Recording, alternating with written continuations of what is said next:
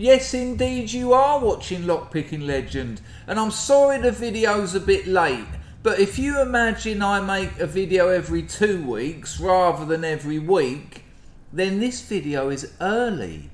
Yeah, a bit of a glass half empty, glass half full kind of thing. Yeah, yeah. Um, now, excuses out the way.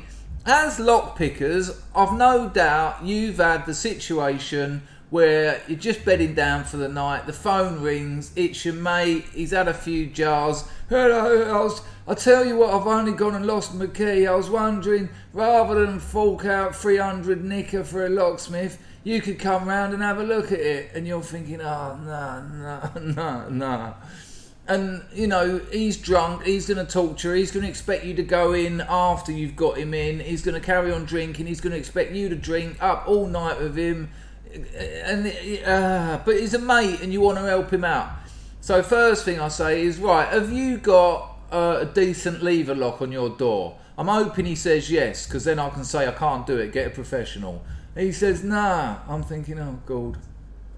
I said right. So you've got like a night latch. He went what's that? I said a Yale lock. Now you know what I mean. You know people think that if you say Yale lock, they think pins if you,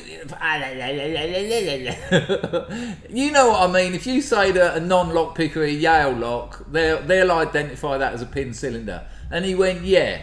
I said, right. Does it have a curved bit of brass that goes into the the door frame? He went, yeah, that's it. I thought, right. So you have got the lowest possible security. I mean, you might as well lean a shoe up against your door to keep intruders out. So I said, all right, mate, no worries, I'll pop round. I've gone round there, I've taken an empty bottle of Coca Cola and a pair of scissors, I've chopped a bit out, I've shimmed it, and he's in. And he's gone, whoa, what? What is this? Like some kind of Jason Bourne? And I was like, yeah, yeah, it is like a bit, a bit like that. Yeah, bit of Jason Bourne, bit of James Bond, bit of Houdini. And uh, I said, listen, this is not secure. You're protecting your family and possessions with something that's nothing. Get a decent five lever Chubb or something. Get a night latch that deadlocks. You know, this is no good. He went, all right, I'll do all that. Had a couple of drinks with him. 12 hours later, stumbled home Anyway, a couple of weeks later, of course, he ignored all of my advice because he had a friend of a friend of a friend who said, I've got some high security locks I'm selling. And he sent me a photo of the key. And this is it. Right? Now I can understand to him that looks whoa. Compared to his his lock was actually like an ERA night latch. But compared to that, this thing looks like this. We're going back to Jason Bourne here. This, this, this is this is to his eyes. This is a this is a high security lock. I said, did you get the lever lock sorted out? He went, no, I don't need it. Look, I've got this thing. Look at it. Look at it. And uh, well, I uh, got myself one off eBay. Let's have a look at it. Look at it, look at it. so this video is really about how you can be very deceived by something that is nothing. Let's go. So coming in at a, a whopping six ninety nine off of eBay, I got myself one of these NR dimple locks, and you know, understandably to a, a novice, it looks high security. I mean, dimple locks are a bit of a blag anyway. They're only pin cylinders with the key turned 90 degrees. And, and because of that, they tend to have quite bad tolerances. I'm going to use this top wrench. This is 2 mil. And it's actually very good for dimple locks. It actually holds in there. Incredible. Um, and this is called a thunder rake. It's for dimple locks, but usually you have to use the Walding, but you just have a little fiddle about with this one. He paid 40 quid for his, off of his Dodge. Oh, gosh. I mean, that anyone can do that. If I gave you that wrench, that lock, that vice, that rake, you've done. Anyone can do that. And there's loads of these for sale on eBay. Let's take it apart and see what's inside.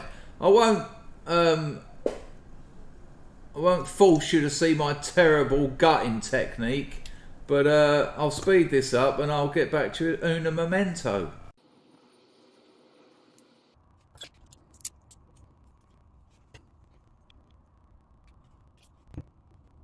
And here we are. You can see the little seven seven pin high security lock um, in all its glory. I mean, what have we got? I, I, am thinking mushrooms, torpedoes, serrated spools. I, I, I could have probably, I should have done it with a cotton bud. Not in the least bit surprised. These are all just standard pins.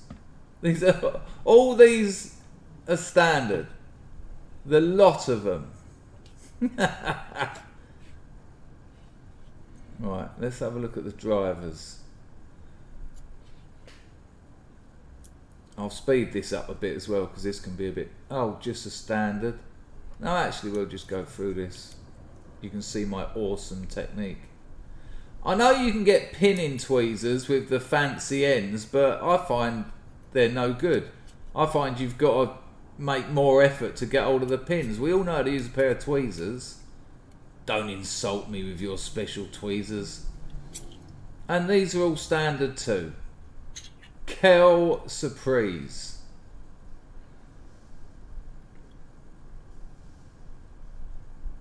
Nothing. Just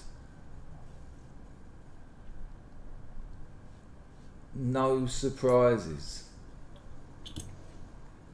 And there's something extra interesting about this because not only did I talk about the tolerances, can you see that they've got curved ends, rounded off ends?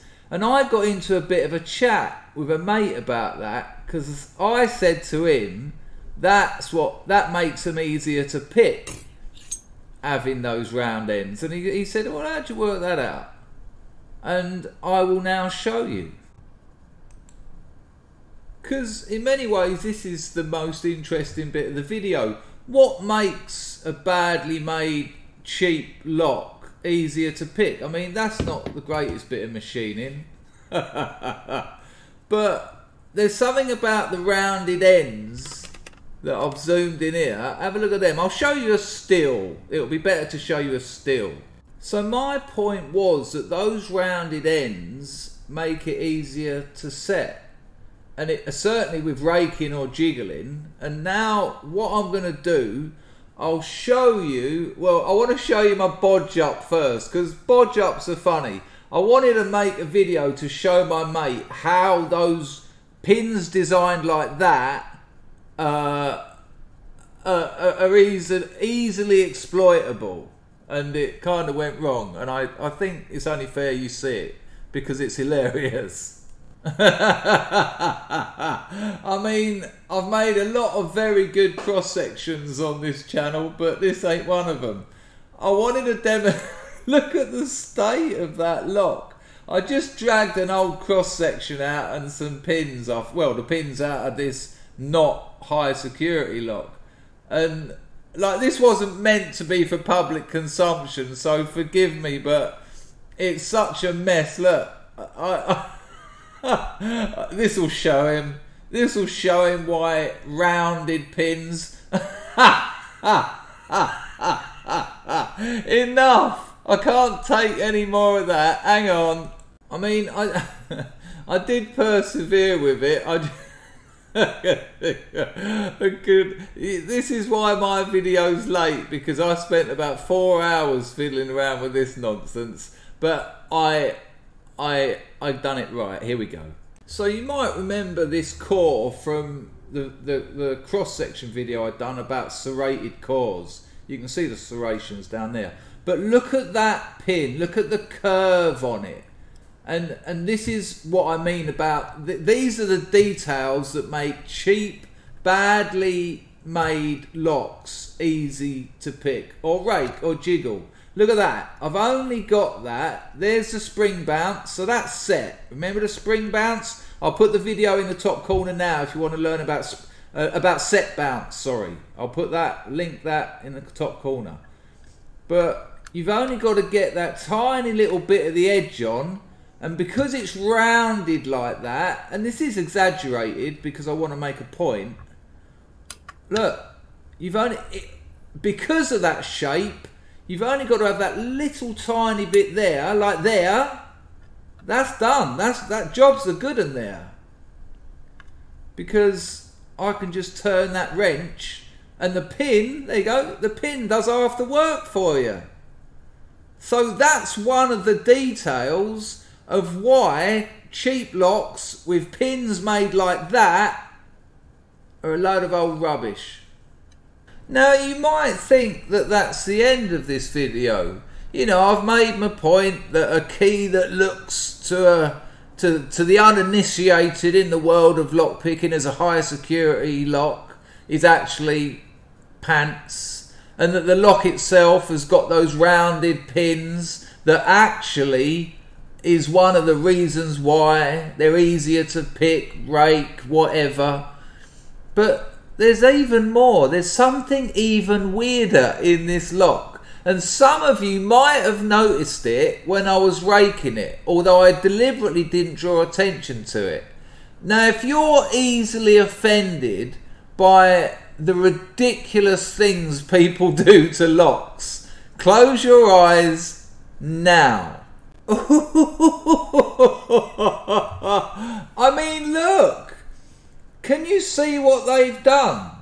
They've cut into that, they've cut into the bible, and they've just inserted two bits of steel. Now, I'm sure somewhere along the line, the idea is to make it stronger. yeah, look, I'll give you a close up. I mean, look at it. Now.